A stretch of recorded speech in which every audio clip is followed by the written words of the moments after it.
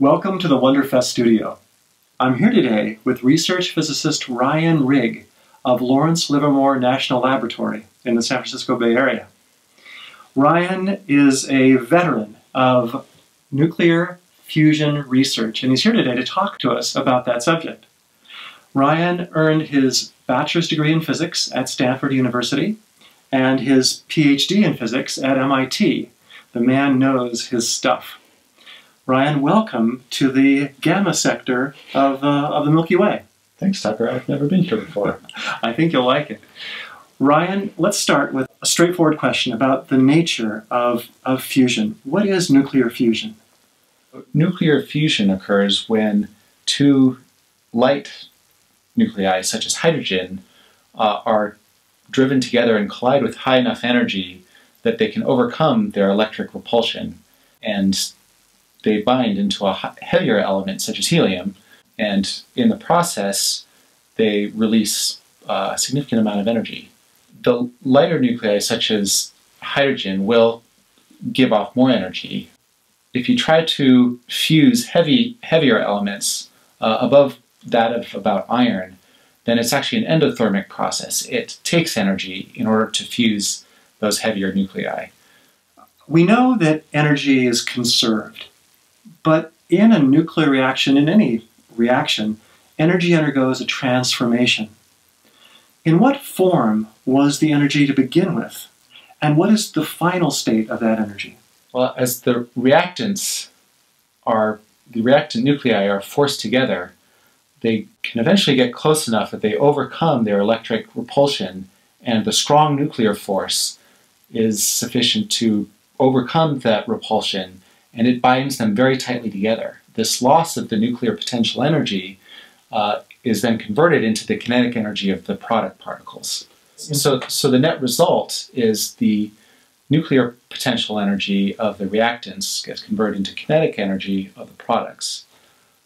Another way that this um, is measured is in the difference of the mass of the reactants and the products. Um, and this difference in mass, um, as you may have seen in earlier videos, um, from Einstein's equation E equals mc squared, there's a big difference in the energies uh, when there's a small difference in the mass.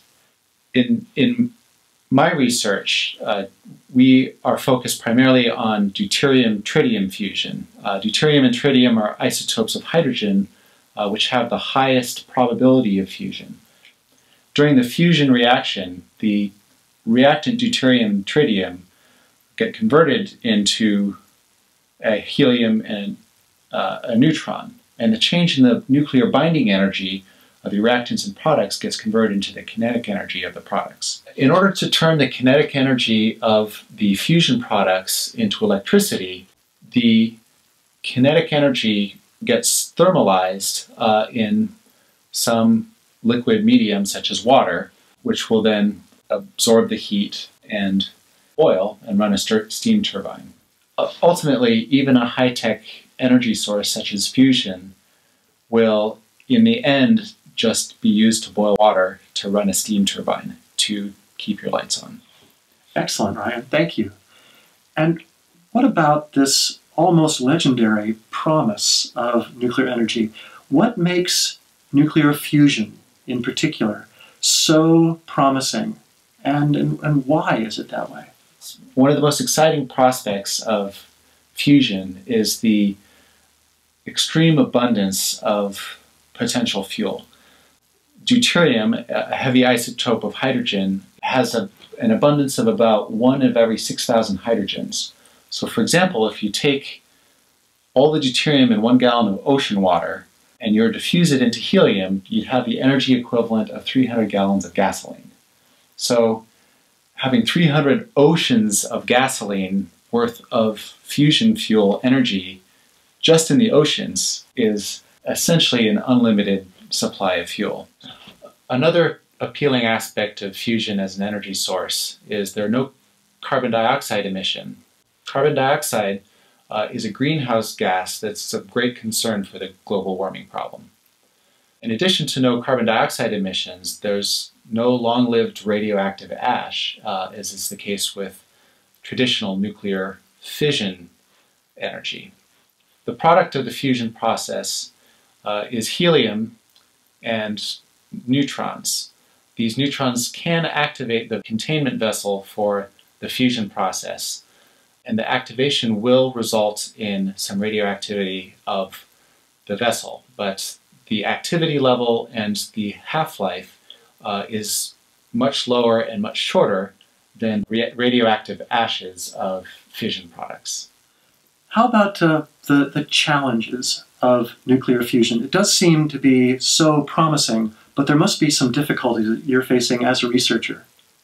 So the fundamental challenge of fusion is to overcome this electric repulsion of the nuclei. And in order to do so, we need to raise the temperature of deuterium tritium fuel to 100 million degrees. And then we need to confine this fuel long enough for fusion to occur. Right now, there are two principal avenues that we're attempting in order to achieve this confinement. One is known as magnetic confinement fusion, where strong magnetic fields are used to contain the hydrogen fuel. And the other, which I've been working on, is called inertial confinement fusion, where we compress the fuel in order to get it to react fast enough that it fuses before the fuel's own inertia allows it to expand and cool down. At Lawrence Livermore Lab, uh, they've built the largest laser in the world to pursue inertial confinement fusion, um, where these lasers are used to deposit energy to compress these uh, inertial confinement fusion pellets. An example of one of the challenges that we face in inertial confinement fusion is to compress a spherical pellet of this deuterium tritium to very high densities and pressures.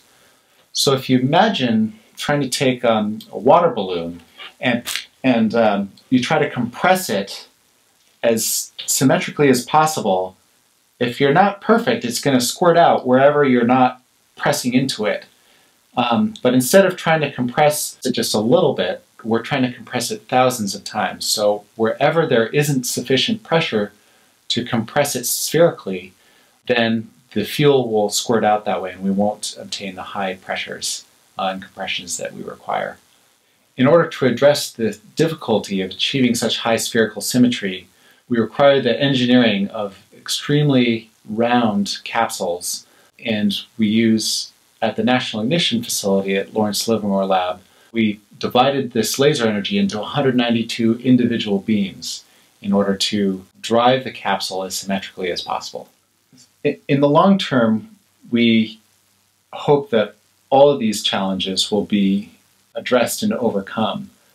But if you ask different experts in the field, the most optimistic view will say we might solve these problems in 30 years, and the most pessimistic might say never. So when we'll get an economically viable fusion electricity will depend on the level of funding.